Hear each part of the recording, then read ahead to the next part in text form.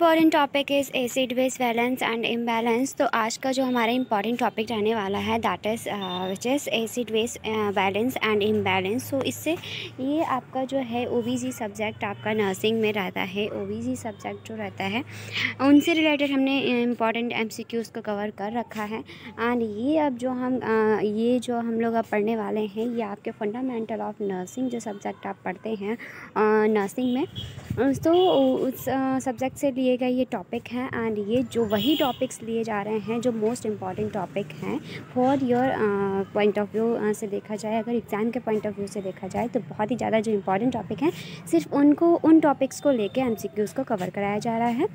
सो so, uh, आज का topic है acid base balance and imbalance तो फ़र्स्ट क्वेश्चन यहाँ पे देखते हैं that is during A B G analysis blood is collected from A B G analysis क्या होता है? फ़र्स्ट ऑफ़ ऑल आपको पता होना चाहिए कि ए बी जी एनालिसिस तो ए बी जी एनालिसिस जो होते हैं arterial blood gas analysis blood is collected from तो ए बी जी एनालिसिस के लिए ब्लड जो है, वो कलेक्ट किया जाता है कहाँ से? आर्टरी से या वेन से या कैपलरी से या एनी साइड से। तो बेस्ट वेस्ट जो रहता है ए बी जी एनालिसिस के लिए, अगर उसको ए बी जी एनालिसिस करना है तो जो बेस्ट रहता है ब्लड का कलेक्शन तो वो रहता है आर्टरी सो आर्टरी से जो है ए एनालिसिस के लिए आर्टरी से ब्लड को कलेक्ट किया जाता है। तो ऑप्शन नंबर जो ए है, हमारा करेक्ट रहेगा। एंड नेक्स्ट क्वेश्चन यहाँ पे हम देखेंगे। Next question here you can see in A G analysis A G analysis में बीच पैरामीटर आर असिस्ट तो ए जी एनालिसिस यानी कि रियल ब्लड गैस में कौन से पैरामीटर्स को असिस्ट किया जाता है? तो सोडियम बाइकार्बोनेट या पीएच को असिस्ट किया जाता है। ये sodium bicarbonate carbon dioxide oxygen और पीएच को असिस्ट असिस्ट किया जाता है। यह sodium bicarbonate carbon dioxide pH को yes carbon dioxide oxygen and pH को असिस्ट किया जाता है। तो फ़र्स्ट ऑफ़ ऑल आपको पता होना चाहिए कि एवीजी एनालिसिस क्या है। एवीजी एवीजी एनालिसिस में क्या क्या जो है एनालाइज किया जाता है और क्या इसके ऑब्जेक्टिव होते हैं। ये हम लोगों ने पढ़ रखा है। आप अगर प्रीवियस वीडियोस हम लोगों ने, हमारी ना देखे हों दैन आप जो है ए वी जी एनालिसिस को अच्छे से देख सकते हैं। डिस्क्रिप्शन में आपको लिंक दे दूँगी, वहाँ से आप जो है क्लिक करके डायरेक्टली देख सकते हैं। A V G analysis which parameter are assist तो बिच पैरामीटर आर असिस्ट कौन सा पैरामीटर जो है असिस्ट किया जाता है ए वी जी एनालिसिस में? तो जो ए वी जी एनालिसिस होती है आर्टियल ब्लड गैस तो इसमें असिस्ट किया जाता है sodium bicarbonate carbon dioxide oxygen and V G analysis में थ्री चीज़ों को असिस्ट किया जाता है sodium bicarbonate carbon dioxide, oxygen and pH तो ये रहता है एवीजी एनालिसिस का पैरामीटर्स एंड यहाँ पे हम देखेंगे AVG analysis report include bicarbonate and bicarbonate oxygen partial oxygen partial carbon dioxide pH electrolyte like sodium and potassium तो ये सब जो है पैरामीटर्स रहते हैं एवीजी एनालिसिस के। एक बार फिर से देखते हैं अगेन यू कैन सी जो एवीजी एनालिसिस होती हैं, इनकी रिपोर्ट्स में इंक्लूड क्या होता है? Bicarbonate partial oxygen partial carbon dioxide and pH and electrolyte जैसे कि सोडियम एंड पोटेशियम रहता है। Sodium potassium and partial oxygen partial carbon dioxide and bicarbonate ये और पीएच ये सब रहते हैं एवीजी एनालिसिस की रिपोर्ट में। नेक्स्ट आप question here can see P H value below seven is call तो सेवन से जो अगर पी एच uh, कम है सेवन से अगर पी एच कम है तो उसे क्या कहेंगे? तो सेवन से अगर पी एच कम रहता है तो उसे क्या कहेंगे? सेवन से पी एच कम होता है तो उसे एसिडिक कहते हैं। अगर सेवन से ज़्यादा होता है तो उसे एल्कलाइन कहते हैं। ये चीज़ हमें याद रखनी है पी एच का लेवल जो होता है वो पी एच अगर सेवन से कम है that is which is acidic and अब अब from seven which is which is alkaline so next question here you can see in avg analysis report so तो avg analysis में जो report शो होती है and avg analysis एक avg analysis report show avg analysis जो है report show करती है ph अगर सेवन पॉइंट ph कितना है इसमें एक avg analysis report है जिसमें पी एच जो है seven point two zero seven point two zero है पीएच लेवल और पार्शियल कार्बन डाइऑक्साइड जो है thirty five M M H G है एंड बाई कार्बोनेट जो है ट्वेंटी मिली इक्यूलेरियम पर लीटर है। दीज फाइंडिंग्स आर सजेस्टिव और तो ये अगर एक ए वी जी एक ए वी जी एक ए वी जी रिपोर्ट है, उनमें जो है पी एच कितना है? सेवन पॉइंट टू ज़ीरो है एंड पार्शियल कार्बन डाइऑक्साइड जो है वो थर्टी फाइव है और वाई कार्बोनेट जो है वाई कार्बोनेट जो है ट्वेंटी एम मिली मिली क्यूलम पर लीटर है तो ये फाइंडिंग्स जो होती हैं, वो क्या सजेस्ट करती हैं? तो वो सजेस्ट करती हैं मेटाबॉलिक एसिडोसिस मेटाबॉलिक एसिडोसिस को ये सजेस्ट करता है। मेटाबॉलिक एसिडोसिस को सजेस्ट करता है। सो नेक्स्ट यहाँ पे आप देखेंगे decrease in the pH of the blood blood का जो पीएच है blood in decrease in the pH of the blood blood का जो पीएच डिक्रीज़ है less than seven point three five अगर ब्लड का जो है पीएच जो है वो सेवन पॉइंट थ्री फाइव से अगर कम होता है सेवन पॉइंट थ्री फाइव से अगर कम है तो वो कंडीशन मानी जाती है दिस वो कंडीशन मानी जाती है as as a result of retention of acid और the decreasing bicarbonate level in blood plasma जो कि नॉर्मल जो रहता है बाई कार्बोनेट का, वो रहता है twenty two to twenty seven milli million per litre यहाँ पे जो हमारा बाई कार्बोनेट का लेवल दे रखा है, यहाँ पे आप देखेंगे बाई कार्बोनेट का लेवल जो दे रखा है बाई कार्बोनेट का लेवल वो दे रखा है ट्वेंटी मिली इक्विलियम पर लीटर और यहाँ पे जो normal bicarbonate level bicarbonate का लेवल जो होता है नॉर्मल क्या होता है? नॉर्मल होता है बाईस से सत्ताईस मिली इक्विलियम पर लीटर होता है।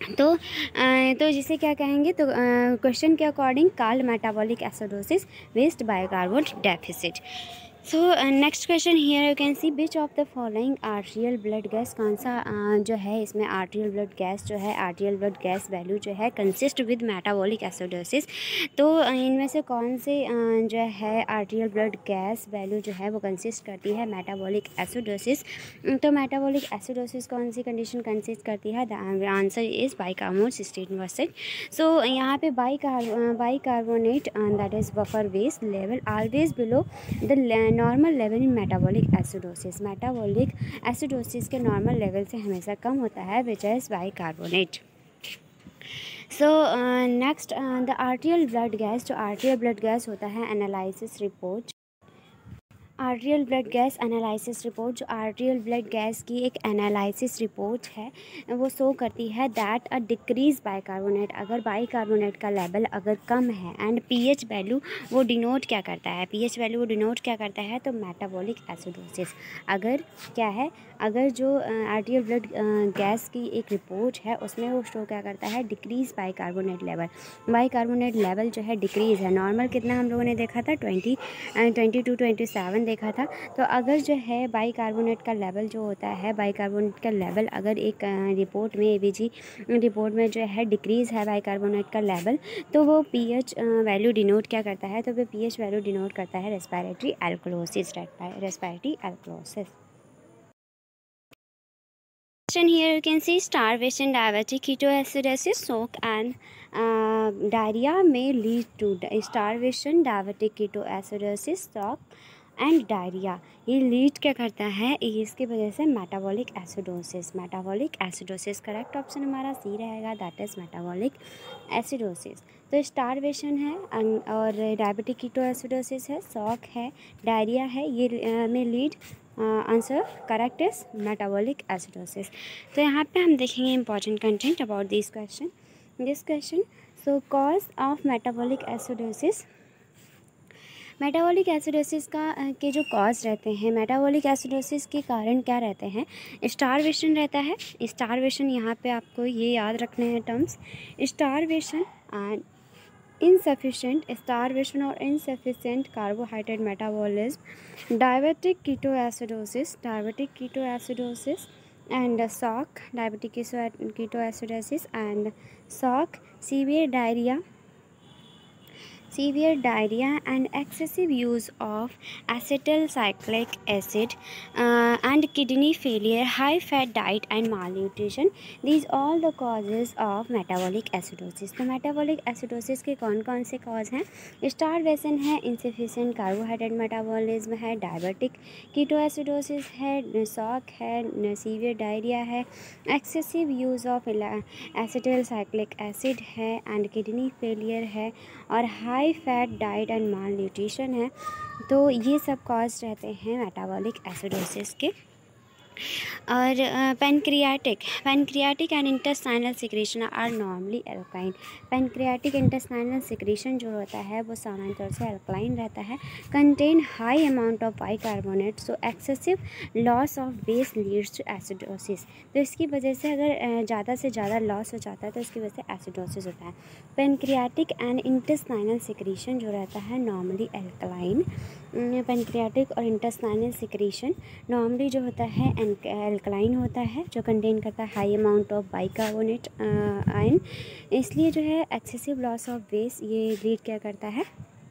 Acidosis so next question here you can see which arterial blood which arterial blood gas would the nurse expect in client diagnosed with diabetic ketoacidosis which arterial blood gas कौन सा arterial blood gas would the nurse expect in the client diagnosed with diabetic acidosis यानी कि इनमें ये जो four terms आपको दिए गए हैं फोर स्टेटमेंट दिए गए हैं, इनमें ये पूछा है कि कौन सा स्टेटमेंट जो है, यानी कि कौन से स्टेटमेंट की जो वैल्यूज़ हैं, वो क्या इंडिकेट करती हैं? डायबिटिक कीटो एसिडोसिस को डायग्नोस करने के लिए इंडिकेट करती हैं। तो यहाँ पे हमारा रहेगा, अगर पीएच जो है सेवन पॉइंट पीएच जो है वो सेवन पॉइंट थर्टी है।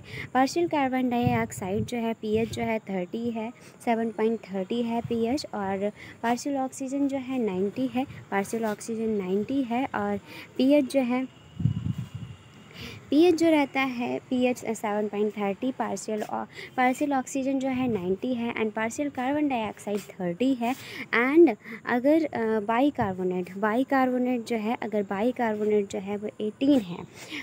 याद रखना है, पीएच अगर सेवन पॉइंट थर्टी है, अब पार्शियल पार्शियल ऑक्सीजन जो है नाइन्टी है and partial carbon dioxide thirty है बाई कार्बोनेट एटीन है these all the values indicate the diabetic ketoacidosis four answer हमारा करेक्ट रहेगा। नेक्स्ट यहाँ पे हम देखेंगे next question which of the following values इनमें से कौन सी वैल्यू जो है इंडिकेट करती है? मेटाबॉलिक एल्कोलोसिस यानी कि अब पहले हम लोगों ने मेटाबॉलिक एसिडोसिस देखा था तो मेटाबॉलिक एसिडोसिस में हम लोगों ने क्या देखा था? P H partial oxygen ninety and partial carbon dioxide जो है थर्टी एंड बाई कार्बोनेट जो है एटीन तो ये वैल्यूज़ जो होती हैं इंडिकेट करती हैं मेटाबॉलिक डायबिटिक किस्टोएसिडोसिस को और मेटाबॉलिक एल्कोलोसिस जो है, कौन सी वैल्यूज़ इंडिकेट करती हैं। तो अगर पीएच जो है सेवन पॉइंट फोर सेवन है और कार्बन डाइऑक्साइड फोर्टी है बाई कार्बोनेट थर्टी सिक्स है पार्शियल ऑक्सीजन सेवेंटी एट है तो ये इंडिकेट करता है मेटाबॉलिक एल्कोलोसिस को। तो यहाँ पे आप देखेंगे increase in the pH of the blood अगर ब्लड का पीएच जो है सेवन पॉइंट फोर फाइव से अगर ज़्यादा हो गया है ब्लड का पीएच जो है more than seven point five four five से ज़्यादा हो गया है and increase of bicarbonate level और बाइकार्बोनेट का लेवल भी इंक्रीज़ हो गया है. In blood plasma more than twenty seven milliequivalent per litre example bicarbonate अगर थर्टी सिक्स है and metabolic alkalosis based bicarbonate excess तो ये तो इस क्वेश्चन के अकॉर्डिंग क्या रहेगा? मेटाबॉलिक एल्कोलोसिस जैसी कंडीशंस रहेंगी। सो so, यहाँ पे नेक्स्ट क्वेश्चन आप देखेंगे। Next question here can see a nurse is caring for a patient अगर नर्स जो है एक नर्स जो है एक नर्स एक नर्स जो है वो केयर कर रही है एक पेशेंट की। डायरेटिक थेरेपी पे है पेशेंट कैसा है? पेशेंट जो है डायरेटिक थेरेपी पे है पेशेंट डायरेटिक थेरेपी पे है। वो नर्स जो है केयर कर रही है एक पेशेंट की पेशेंट डायरेटिक थेरेपी पे है। और the nurse the nurse the nurse would monitor the patient for which acid base disorder तो एक कौन सा एसिड बेस डिसऑर्डर जो है, एक नर्स जो है, वो डायग्नोस करेगी?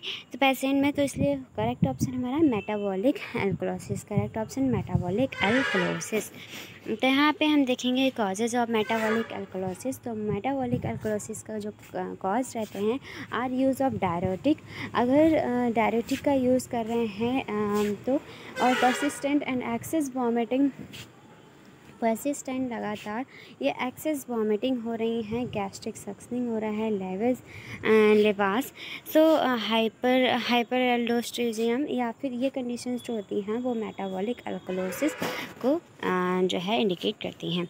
नेक्स्ट क्वेश्चन यहाँ पे आप देखेंगे, a, nurse is caring for an infant. एक नर्स जो है, वो एक नर्स जो है केयर कर रही है एक इन्फेंट की, हु हैज़ इंट्रैक्टेबल और अनकंट्रोल्ड वॉमिटिंग? एक नर्स जो है, वो किसकी केयर कर रही है? एक इन्फेंट की एंड जिसको इन्फेंट को क्या हो रहा है? इंट्रैक्टेबल अनकंट्रोल्ड वॉमिट हो रही है। यानी कि अनकंट्रोल्ड वॉमिटिंग वॉमिटिंग हो रही है और इंट्रैक्टेबल अनकंट्रोल्ड वॉमिटिंग हो रही है। The most important likely complication is तो इसमें कौन सा कॉम्प्लिकेशन जो है इंडिकेट करता है? तो एल क्लोसिस करेक्ट ऑप्शन हमारा क्या रहेगा? Alkalosis alkalosis so so, यहाँ पे आप देखेंगे परसिस्टेंट एंड प्रोलॉन्ग परसिस्टेंट मतलब होता है कंटिन्यू वॉमिटिंग होना. तो परसिस्टेंट एंड प्रोलॉन्ग वॉमिटिंग होना गैस्ट्रिक लवाज होना यानी कि खाली होना स्टमक का कंटिन्यू लो प्रेशर सक्शन में cause excessive loss of acid इसकी वजह से जो है कंटिन्यू वॉमिटिंग अगर हो रही है तो वो क्या कॉज कर सकता है? Excessive loss of acidic ion acidic ion जो है उसका एक्सेसिव लॉस होगा स्टमक से. So level of serum bicarbonate इसलिए सीरम बाइकार्बोनेट का लेवल जो होता है वो इंक्रीज़ हो जाता है सीडियम सीरम बाइकार्बोनेट का लेवल जो होता है बाइकार्बोनेट का लेवल जो है इंक्रीज़ हो जाता है एंड एसिडिक आयंस जो हैं कम हो जाते हैं, जिसकी वजह से मेटाबॉलिक अल्कोलोसिस हो जाता है। तो आप यहाँ पे देख पा रहे हैं कि मेटाबॉलिक अल्कोलोसिस जो होता है मेटाबॉलिक जो एल्कोलोसिस होता है मेटाबॉलिक एल्कोलोसिस जो होता है, इसमें जो है एसिडिक आयंस जो होते हैं। एसिडिक आयंस जो होते हैं एसिडिक आयंस वो जो है सीरम बाइकार्बोनेट इंक्रीज़ हो जाता है। सीरम बाइकार्बोनेट इसमें इंक्रीज़ होता है मेटाबॉलिक एल्कोलोसिस में और और जो एसिडिक आयंस होते हैं, वो कम हो जाते हैं। तो इसलिए metabolic alkalosis metabolic alkalosis condition जो है, इसमें इंडिकेट रहती है। नेक्स्ट आप क्वेश्चन देखेंगे यहाँ पे। Next question here you can see which of the following clinical finding इनमें से कौन सा क्लिनिकल फाइंडिंग जो है एक्सपेक्टेड है पेशेंट में who has undergone gastric lavage और प्रोलॉन्ग वॉमिटिंग अगर लंबे समय से वॉमिटिंग हो रही है गैस्ट्रिक लेवल्स हो रहा है, यानी स्टमक खाली हो रहा है, लंबे समय से वॉमिटिंग होने की वजह से तो इनमें से कौन सा क्लिनिकल फाइंडिंग जो है एक्सपेक्ट किया जाएगा पेशेंट में? तो इंक्रीज सीरम बाइकार्बोनेट लेवल क्योंकि सीरम बाइकार्बोनेट लेवल जो है वो बढ़ता है एसिडिक एसिडिक एंस जो होते हैं वो कम होते हैं। तो वो तो वो कौन सी कंडीशन मानी जाती है? तो वो कंडीशन मानी जाती है मेटाबॉलिक वो हम लोगों ने पढ़ा था मेटाबॉलिक अल्क्रोसिस तो इसमें आ, क्या कंडीशन रहेगी? अगर कंटिन्यू वॉमिटिंग होगा तो सीरम बाइकार्बोनेट का लेवल जो है बढ़ जाता है। सो so, यहाँ पे नेक्स्ट क्वेश्चन आप देखेंगे the patient is gastro gastroenterology ward अगर पेशेंट जो है कहाँ है? गैस्ट्रो इंटरोलॉजी वार्ड में है is an nasogastric tube और उसके जो है नेजो गैस्ट्रिक ट्यूब है with continuous low pressure suction उसको जो है कंटिन्यू लो प्रेशर सक्सन दिया जा रहा है. The acid base disorder you anticipate in the setting is तो answer metabolic metabolic alkalosis next question है the client has following arterial blood gas P H जो है सेवन पॉइंट नाइनटीन है partial carbon dioxide thirty three है and partial oxygen जो है आपका client का आर्टियल ब्लड गैस पीएच जो है seven point nineteen and partial carbon dioxide जो है thirty three and partial oxygen ninety five and oxygen and carbon जो बाई कार्बोनेट लेवल जो है nineteen and which medication would the nurse prepare to administer base based on result तो इसमें correct option हमारा A रहेगा that is intravenous sodium bicarbonate intravenous sodium bicarbonate तो यहाँ पे नेक्स्ट क्वेश्चन आप देखेंगे in ABC report ABC report में पीएच अगर 7.3 है पार्सल कार्बन डाइऑक्साइड 70 है पार्सल ऑक्सीजन 80 है एंड बाई कार्बोनेट 24 है तो वो रिप्रेजेंट क्या करता है? तो रिप्रेजेंट करता है रेस्पायरेटरी एसिडोसिस को रेस्पायरेटरी एसिडोसिस को। Next question here you can see a arterial uh, the arterial blood gas uh, arterial blood gas uh, that is most suggestive of respiratory acidosis is correct option रहेगा pH 7.3 carbon dioxide 50 mmHg next question normal range of partial carbon dioxide in AVG and sample तो A we जी सब most important thing यहाँ आपको बता दें कि जो जितनी भी वैल्यूज़ हैं नॉर्मल वैल्यूज़ जो होती हैं, अगर suppose that bicarbonate bicarbonate की नॉर्मल लेवल नॉर्मल वैल्यू और जितनी भी वैल्यूज़ हैं potassium sodium and bicarbonate oxygen and carbon dioxide जितनी भी सीरम लेवल जितनी भी वैल्यूज़ है, वो आपको लर्न कर लेनी है, जिससे क्या रहेगा, आपके इजली क्वेश्चन जो हैं सॉल्व हो जाएँगे। ये क्वेश्चन जो हैं, इसलिए जो है, थोड़ा सा लग रहा है, क्योंकि यहाँ पे जो क्वेश्चंस हैं वो अगर आपको सी, अगर आपको कोई भी वैल्यू जो है, वो पता है, कोई भी वैल्यूज़ जैसे कि सोडियम की है या कार्बोनेट की है या बाई कार्बोनेट की है या फिर कोई भी value potassium, sodium, carbonate bicarbonate या सोडियम, किसी भी की वैल्यू जो है, अगर आपको पता है तो ये क्वेश्चन ईज़िली आप सॉल्व कर पाएँगे। तो फ़र्स्ट ऑफ़ ऑल क्या कर लेना है? सब फ़र्स्ट ऑफ़ ऑल जितनी भी वैल्यूज़ हैं partial carbon dioxide partial oxygen bicarbonate oxygen की वैल्यू एंड जो भी हैं, वो हम लोग को याद कर लेनी है। देन ये क्वेश्चन सॉल्व करने हैं। तो normal range bicarbonate in the A B G sample A B G sample में जो पार्शियल कार्बन डाइऑक्साइड की नॉर्मल रेंज है, क्या है? तो पार्शियल कार्बन डाइऑक्साइड जी में क्या रहती है? Thirty five to forty five M M H G normal range ये किसकी है? Normal normal range of partial carbon dioxide in A B G sample G sample में ये पार्शियल कार्बन डाइऑक्साइड जो पार्शियल कार्बन डाइऑक्साइड है, उसकी A B G sample में जो है पार्शियल कार्बन डाइऑक्साइड की नॉर्मल रेंज कितनी है? Thirty five to forty five M M S G and next यहाँ पे देखेंगे in case of respiratory acidosis respiratory acidosis के केस में there is increase level of respiratory acidosis में आ, किसका लेवल जो है इंक्रीज होता है? करेक्ट ऑप्शन हमारा रहेगा कार्बन डाइऑक्साइड का। नेक्स्ट यहाँ पे क्वेश्चन आप देखेंगे which laboratory result should alert the nurse to perform further assessment on the patient admitted with respiratory distress तो यहाँ पे इसमें करेक्ट ऑप्शन रहेगा आपका पार्शियल कार्बन डाइऑक्साइड जो है partial carbon dioxide less than fifty M M H G next question which of the following condition would a nurse recognize as contributing to the development of respiratory acidosis? तो correct option आपका emphysema correct option आपका emphysema next question here you can see which of the following statement about acid waste balance is incorrect acid waste balance के acid waste balance के यानी कि यहाँ पे कौन सा स्टेटमेंट जो है, कौन सा स्टेटमेंट जो है इनकरेक्ट है for the acid base balance तो कौन सा इनकरेक्ट है एसिड वेस बैलेंस के लिए? तो इसमें करेक्ट ऑप्शन हमारा रहेगा बी बाकी जो थ्री स्टेटमेंट हैं, बाकी जो थ्री स्टेटमेंट हैं that is hyperventilation cause respiratory alkalosis यानी कि अगर हाइपर वेंटिलेशन है, वो कॉज करता है रेस्पायरेटरी अल्क्लोसिस को. हाइपो वेंटिलेशन कॉज करता है रेस्पायरेटरी एसिडोसिस को.